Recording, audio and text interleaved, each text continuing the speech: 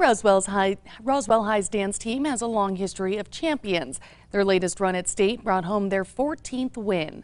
News 13's Madison Connor introduced us to the woman behind it all. And now performing the Roswell Charlie.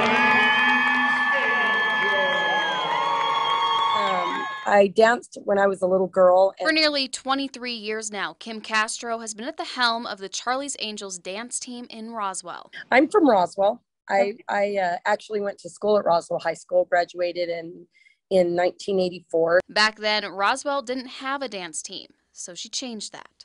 It was kind of something my oldest daughter, she's 37 years old, but it was something that she really, really wanted. So um, I started the dance team. And her daughter has long since graduated, but something keeps Castro coming back year after year. So it was just something that I wanted to bring to Roswell High, and um, never did I anticipate that it would become as successful as it is. But with Castro leading the team, they've won more than a dozen titles. Their most recent win, just a few weeks ago, marked number 14. We've won 14 state titles and three national titles. Through hard work and dedication.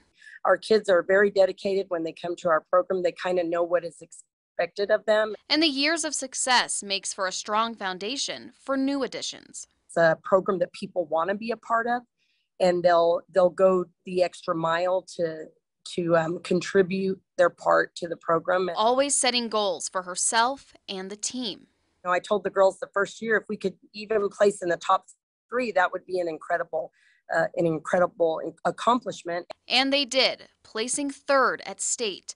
From there, the sky was the limit.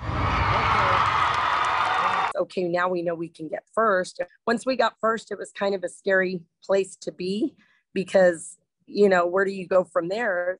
But they've grown and adapted with the sport to try to stay on top, and her time as head coach is far from over. I think I'll know when I'm ready to to be done, but I don't feel it right now, which is pretty neat. Madison Connor, KRQE News 13.